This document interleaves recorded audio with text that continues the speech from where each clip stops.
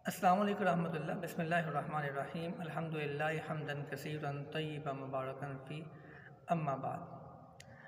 फ़क़ालल्लाहु तआला इल्ला तंसुरूहु फ़क़द नसरहुल्लाह, इज़ अख़रजहुल्लज़ीना कफ़रू सानिय स्नैनि इज़ हुमा फ़िल ग़ार नाज़रीन, हम आपको अपने प्रोग्राम में एक बार फिर खुश आमदीद कहते हैं। गुज़श्ता दिनों हमने एक प्रोग्राम किया था मुफ्ती इसाक साहब की कज़ब बयानियों पर। उसके बाद कुछ देर के लिए हम, हमने प्रोग्राम को तातुल का शिकार किया, लेकिन हमें कुछ दोस्तों के, आपके मैसेजेस कॉल्स ईमेल्स के ज़रिए हमें कहा गया, अपने प्रोग्राम को जारी रखें। तो आज हम आपको इन एक बार फिर अपने प्रोग्राम में खुश कहते हैं। हमारे साथ पहले की तरह फिर मेहमान हैं, जनाब हकीम इसरार मुआविया साहब, जो कि अबूर रखते हैं और इनका मुदल बयान होता है, हर उनवान पे, जिस टॉपिक पे भी आप गुफ्तु कर लें राफजियत पे बात कर लें कादियानियत पे बात कर लें, परवेजियत पे बात कर लें, आप इलाहाद पे बात कर लें, कोई भी आप उनवान उठा लें, आपको अल्हम्दुलिल्लाह ये मुदल अंदाज में मुतमिन करने की पूरी कोशिश करेंगे और बात की इस अंदाज से वंड करते हैं कि सुनने वाला बहुत आसान अंदाज से इनकी बात को समझ लेता है। तो आज हमने फिर दावत दी है मोहतरम जनाब की मिस्टर मगर साहब को। असल वरहमल साहब?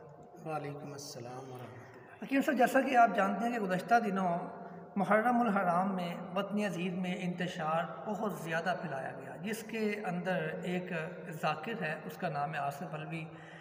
बिलाशुबा अक्सर अहल तशैय भी उससे एलान बरात करते हैं। लेकिन चूँकि वो एक मज़हब का नुमाइंदा है और वो बहुत बड़े इज्तम में उसने ये बात की कि सईदा फ़ातिमा जब सईदना सिद्दीक अकबर के पास अपना हक मांगने गई तो वो बताने गई थी कि हक ना देने से इंसान काफिर हो जाता है।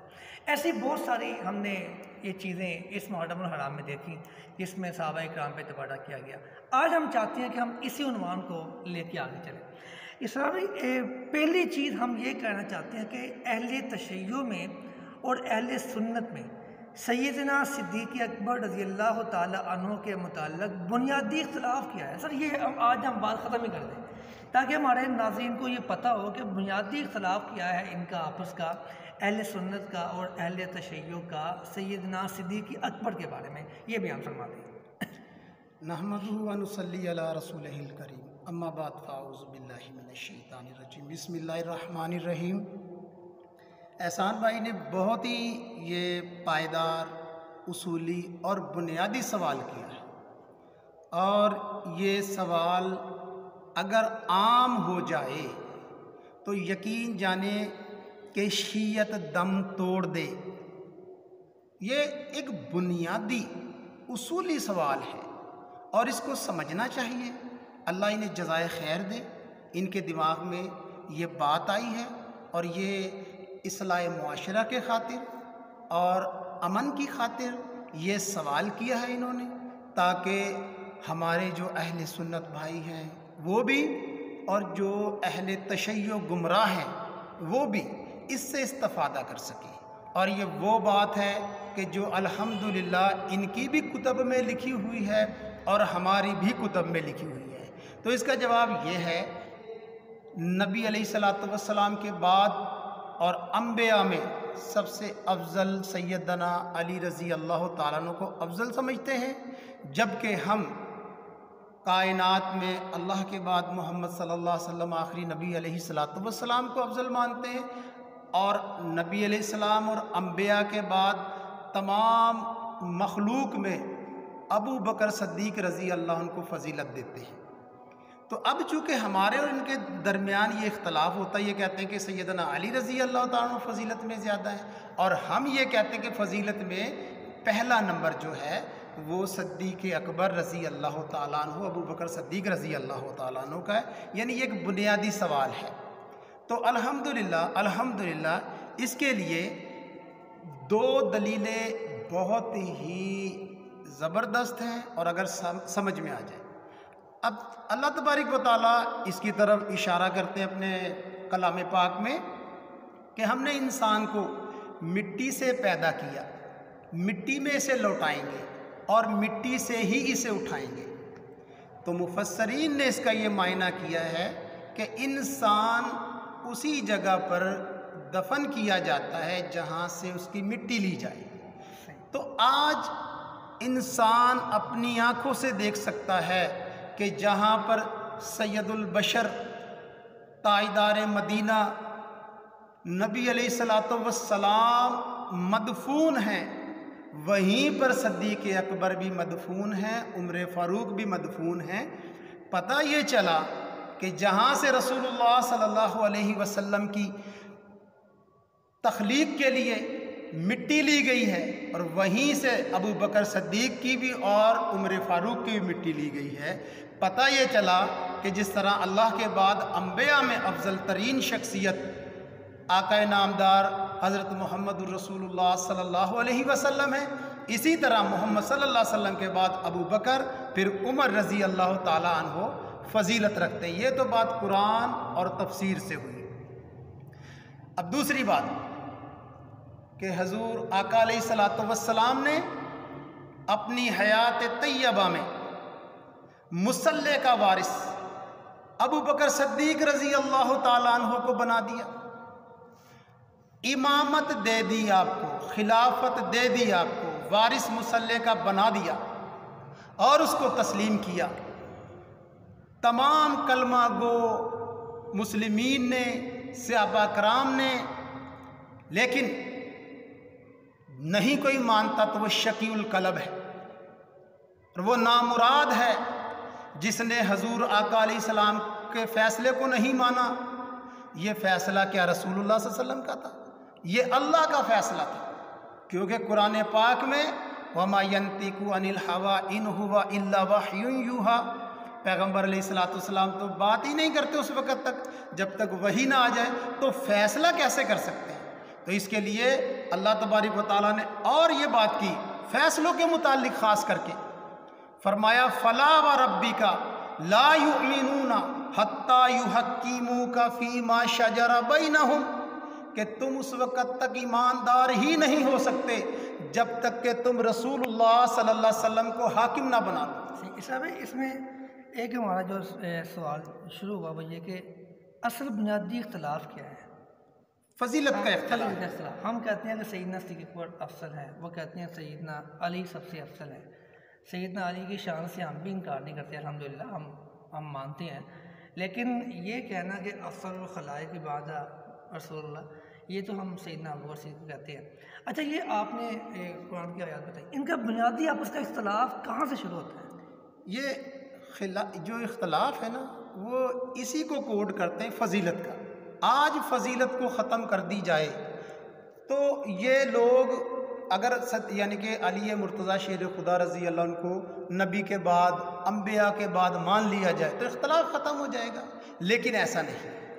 सभी वो कहते हैं कि नबी इस्लाम ने फरमाया था कि अली तुम मेरे लिए ऐसे है जैसे मूसा के लिए हड़ोन यानी कि नबी इस्लाम ने सैदना अली को अपना जानशीन मुकर कर दिया था ज़िंदगी में।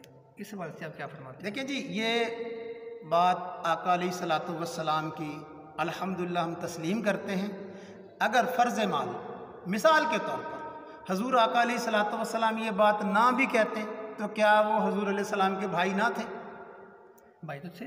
वो जब भी भाई थे तो इससे ये जितनी भी फजीलत वाली बातें हैं सैदना अली मुर्तज़ा शेर खुदा रज़ी अल्लाह उनके मुतालिक, जो आका सलाम फ़जीलत की बातें फरमाते हैं, इरशाद फरमाते हैं, हुक्म फरमाते हैं, हम ये भी वही से मानते हैं। तो ये इसलिए हैं कि आपकी अहमियत को समझा जाए, आपकी कदर व मंजिलत की जाए, आपसे मोहब्बत की जाए। अब ये एक मैं आपको और बात एक वाजे कर दूँ, ताकि ये पैगाम जहाँ तक जाए इससे ये रोशनी है इलम इससे फ़ायदा उठाया जाए। जहाँ बुखारी व मुस्लिम में ये हदीस मुकम्मल होती है कि अली रज़ी अल्लाह ताला हो तुझसे और अंसार से मोहब्बत मोमिन करेगा। बुग्ज जो है वो मुनाफिक रखेगा। यहाँ पर अकेले अली ही रज़ी अल्लाह की नहीं अंसार की भी फजीलत है। और अंसार में लिस्टें बनी हुई हैं। 200 सहाबा तो मैं गिनवा दूँ आपको? अल्हम्दुलिल्लाह। तो 200 सहाबा की क्या उस तरह मोहब्बत की जाती है अहले तशैय नहीं तो पता ये लगा ये नबी सलाम की इस बात के कायल नहीं है? ये सिर्फ़ शख्सियत प्रस्ती चाहते हैं। और इनकी एक और मैं आपसे गुजारिश कर दूँ। इनका ये अजीब अलमिया है शीयत का। यानी जैसे रसूलुल्लाह सल्लल्लाहु अलैहि वसल्लम ने फरमाया कि अली से और अंसार से मोमिन मोहब्बत करेगा और मुनाफिक बुग्ज रखेगा। अब ये अंसार को तो रहने दिया। जैसे कि फरमाया कि जिसका मैं मौला, उसका अली मौला। अब नबी मौला को तो निकाल दिया, सिर्फ़ अकेला अली मौला रहते हैं। जैसे कि अंसार की मोहब्बत को निकाल दिया। अंसार के साथ ये बुग्ज रखते हैं, उन्हें सबो शितम करते हैं। सबो शितम होता है इतराज़ात करना। और ये तो इतराज़ात को छोड़कर उनको नाजेबा अल्फाज बकते हैं। तो ये चीज़ें जब आदि लेते हैं यानी हजूर सलाम की तालीमत को नहीं लेते ये शख्सियत परस्ती और ये बहाना बनाते हैं सिर्फ़ और सिर्फ़ सहाबा कराम को बुरा कहने के लिए। अगर इन्होंने मानना होता तो हजूर सलाम की इस हदीस को भी पूरा मानते कि जिस मोमिन मोहब्बत करेगा अली से और अंसार से और जिसका मैं मौला यानी कि नबी मौला नबी मौलाना लिखा जाता ना पढ़ा जाता, ना उसके स्टिकर देखेंगे आप, ना नारा होता है उसका, ना जनाब उसके ऊपर कोई उनवानात है, ना उसको कोई बयान किया जाता है, सिर्फ़ अली मौला। ये आधे के कायल हैं, जैसे यहूद नसारा करते थे, आदि बात को लेते थे, कतमान हक करते थे। ईसा भाई, ये जो बातें सब ठीक हैं, हमारी कुतुब में, उनकी कुतुब में मौजूद है कि सईद नास्तिक अकबर अफसर खलाइक है, वहाँ से भी यहाँ से मिलता है। क्या ये चीज़ें अहल बैत इज़ाम से भी साबित हैं। जैसे सईदना अली रजील्ला से साबित हों कि उन्होंने भी इस चीज़ का एतराफ़ किया हो कि अबू बकर मुझसे अफसल हैं, सईदना हुसैन, सईदना हसन। यानी कि हम पाँच तन पर ही आ जाते हैं, हम उससे आगे नहीं जाते। इस पर क्या कहते हैं आप? देखिए जी, ये बात तो इनके ज़ाकरीन भी जानते हैं और ये बातें आम हैं कि हज़रत अली रज़ी अल्लाह हो और हसन हुसैन करीमैन रज़ी अल्लाह हो वह अपनी ज़िंदगी में बयान किया करते थे कि अबू बकर अफज़ल हैं, उमर अफज़ल हैं और उस्मान गनी रज़ी अल्लाह अफज़ल हैं। ये मेरा ख्याल इनकी किताब है अलमहासन उसमें भी लिखा हुआ कि लो ओती तो बराजफ़रजलनी आला अभी बकर मोहम्मद जलत हदलमस्तरी कि जो मुझे सईदना अबू बकर से असल कहेगा मैं उसको अस्सी करोड़ों की सजा दूँगा। ये बात उस ही किताब में नहीं जो आप फरमा रहे हैं। जी। क्योंकि ये झूठ के कायल होते हैं तकिए के कायल होते हैं। सही है। ये ऐसा कर लेते हैं कि नहीं ये तो उनकी किताब है। जी। क्योंकि कई नामों से मिलती जुलती किताबें होती हैं। तो ये एक किताब है हमारे पास रिजाल कशी। ये अहल तशर की मोतबर तरीन किताब है। और ये किताब की ही जैसे हमारे यहाँ रिजाल की किताबें हैं। हमने पीछे प्रोग्राम में भी उनके नाम लिए थे। तो जैसे कि हमारे पास तहजीब तहजीब अलकाशिफ तो लिसानमिज़ान मीज़ानतदाल ये जिस तरह हमारी रिजाल की किताबें हैं कि रावी का हम जो सारा डिटेल मालूम कर सकते हैं। कि ये सही है या ज़यीफ़ है, जिसकी वजह से हदीस मोतबर होती है या रद्द की जाती है। इसी तरीके से ये किताब जो है, ये भी उनकी रिजाल की किताब है तो इसमें तफसील लिखी होती है। तो जो भाई ने हवाला दिया है पहले, वो ही सेम हवाला यहाँ पर मौजूद है। तो आपको ये स्क्रीन पर दिखा देते हैं। तो इसका सफ़ा नंबर जो है, वो दो सौ तिरासी नंबर है। और ये यहाँ पर मौजूद है कि सैदना अली रज़ी अल्लाह तु ने बाकायदा मिंबर पर चढ़कर ये बात की कि ख़बरदार, अगर किसी को मैंने ये कहते हुए सुन लिया कि वो मुझ अली को अबू बकर उमर से फजीलत देता है तो मैं उसे अस्सी कोड़े लगाऊँगा। ये यहाँ बात याद रखनी चाहिए। कि ये सैदना अली रज़ी अल्लाह तहो जिस सुन्नत पर, जिस सुन्नत को अदा कर रहे हैं, वो हजूर अकाली सलाम की सुन्नत है कि कोई अहम बात करनी होती थी तो अकाली सलाम मिंबर पर तशरीफ़ ले जाया करते थे। तो सैदना अली रज़ी अल्लाह तहो महफिल में ही नहीं, आप मिंबर पर तशरीफ़ ले जाकर ये इरशाद फरमा रहे हैं तो आप इस बात की अहमियत को जानें। सैदना अली ने अपने जो बेटों के नाम रखे हैं, उसकी भी तरतीब यही है, मोहम्मद, अबू बकर, उमर और उस्मान। इस तरतीब में क्या हमत है? देखिए जी, ये जो आपने बात की है, नामों में भी तरतीब रखना, फजीलत में भी तरतीब रखना, ये वो अहल इलम लोग थे। बहुत इलम वाले भी थे और अमल वाले भी थे। तो वो बाकायदा ये नहजुल बलागा, मेरे पास किताब मौजूद है। तो ये नहजुल बलागा में भी जो भाई ने सवाल किया है तरतीब के हवाले से। तो उस इसके अंदर भी इसी तरीके से है कि आप फरमाते हैं कि जिस तरह और जिन लोगों ने बैत की है अबू बकर की जी। उमर की उस्मान की यानी ये तरतीब को मनहूस खातिर रख रहे हैं। यानी भाई का बड़ा इल्मी सवाल उठता है। और मैं पहले भी अर्ज़ कर चुका हूँ ताकि लोगों को पता चले। कि बात क्या की जा रही है और क्या समझाया जा रहा है? यानी तरतीब के अहले बैत भी कायल थे कि पहले अबू बकर हैं फिर उमर हैं फिर उस्मान हैं। तो ये नाजुल बलागा में भी बाकायदा आप फरमा रहे हैं कि जिस तरह और जिन लोगों ने अबू बकर की बैत की है उमर की बैत की है और उस्मान की बैत की है उन्हीं उसी तरीके से मेरी भी बैत मेरी भी बैत कर लिया तो अब ये जो इनका एक ये सवाल है कि नाम भी इसी तरतीब से रखे। भाई नाम भी इसी तरतीब से रखे हैं और हैरान हो जाएँगे आप। नाम ही नहीं रखे करबला में शहादत भी उनकी इसी अंदाज और इसी तरतीब से हुई है। तरतीब से हुई है बिल्कुल ऐसे तो आप इस बात पर हैरान नहीं होंगे कि जहाँ वो तरतीब को छुपाते हैं वो तो नामों को भी छुपा छुपाते हैं। कि जो शहदाय करबला हैं उनके नाम क्या हैं? उनमें एक अबू बकर एक उमर एक उस्मान। उस्मान। सईदना अली के बेटे थे और हुसैन के भाई थे। हसन के भी बेटे थे रज़ी उनके भी नाम थे हाँ जी। उनका उनके भी नाम शाखैन पे नाम थे। और ये एक और मैं एक ज़िमनी सी बात कर दूँ हमारा मौजू तो नहीं। चौदह मासूमों में भी नहीं बहत्तर तन में भी नहीं पंज तन पाक में भी नहीं जिससे सिलसिलाए इमामत शुरू होता है। यानी कि जैनुल आबदीन रहमतुल्लाह अलैह की जो वालदा शहर बानो वो किसी तन में शुमार नहीं है। ना वो शहदा में शुमार है ना वो मासूमीन में शुमार है। यानी ये हमारा एक पैगाम है जी। सिर्फ़ गौर करने के लिए कि ना वो मासूमीन में चौदह में और ना वो बहत्तर शहदा में। ना वो पंचतन में जिस तरह इसे छुपा लिया गया, इसी तरीके से अबू बकर, उमर, उस्मान रज़ी अल्लाह अनु मजमाइन की फजीलत और तरतीब को छुपा लिया गया। तो यह ताकि बात समझने में आसानी हो जाए। इसराबी मामला, मसला बाग फिदक का बड़ा हसास मामला है। इसके ऊपर अहल तशैय की जो मोतबर कुतुब है, वो क्या कहती हैं? देखिए ये जो सवाल है हम ये चाहते हैं कि हमारा जो है ना शॉर्ट क्लिप बने। मौजू तो ये ज़रा तवील है लेकिन मैं यहाँ थोड़ा सा इशारा करे देता हूँ।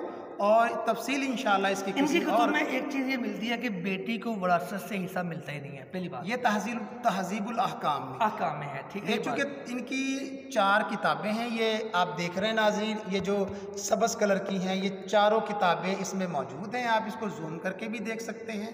तो ये उसूल काफ़ी इसके अंदर मल्ला याजर फ़की तहजीबुल अहकाम मिनल इस्तबसार। और ये तहजीबुल अहकाम में बाकायदा विरासत के बाब में मौजूद है जी। कि बेटी को इमाम जाफ़र सादिक रहमतुल्लाह अलैह से सवाल किया गया। जी। कि क्या प्रॉपर्टी में से बेटी को हिस्सा दिया जाएगा? आपने कहा बेटी को हिस्सा नहीं दिया जाएगा। हाँ फरमाया बेटी को हिस्सा किस चीज़ में से दिया जाएगा? छत में से दीवारों में से दरवाजे और खिड़कियों में से। प्रॉपर्टी में से हिस्सा नहीं दिया जाएगा।